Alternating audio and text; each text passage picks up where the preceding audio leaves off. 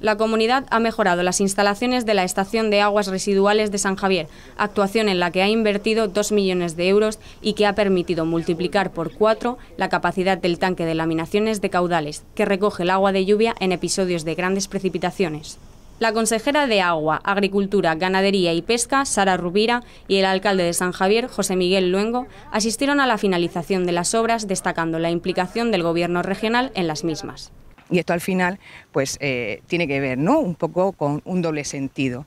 Uno es eh, seguir eh, adelantándonos a la normativa europea y otro pues seguir manteniéndonos a la, vanguardia ¿no? de, del tratamiento de agua regenerada de las plantas depuradoras. Para eso hemos invertido más de 2 millones de euros e insisto, vamos a seguir eh, trabajando en las estaciones depuradoras de aguas residuales, no solamente aquí en San Javier, porque también lo hemos hecho también en la estación de depuradora de aguas residuales de Torre Pacheco.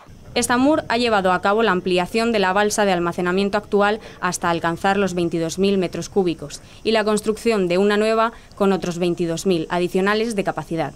Luego destacó las mejoras que se han hecho en el municipio para protegerlo de los temporales y danas y recordó que ya están llevando a cabo otras acciones como los colectores de aguas pluviales norte y sur de la localidad y la creación de un nuevo tanque de tormentas en la ciudad del aire. Bueno, pues ya viene siendo habitual contactos con los medios de comunicación para hablar de las mejoras que se están haciendo en el municipio de San Javier relacionados con el saneamiento, nuestra depuradora, colectores de aguas pluviales con un compromiso clarísimo del presidente de la región de Murcia con el municipio de San Javier. Fernando López Mira lo tuvo claro desde el primer momento, atendió las reivindicaciones que se hacían desde el municipio de San Javier y hoy, otra vez, pues podemos eh, comprobar cómo siguen avanzando las importantes infraestructuras que tiene nuestro municipio y las que van a seguir llegando.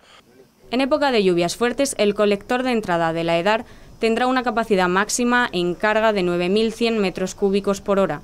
Tanto la balsa ampliada como la nueva construida cuentan con sistemas de limpieza mediante baldeo y un vaciado común por bombeo. Estas mejoras también contribuyen con la preservación del Mar Menor y son un ejemplo de economía circular por la que apuesta el municipio, ya que el agua recogida se reutiliza para fines agrícolas.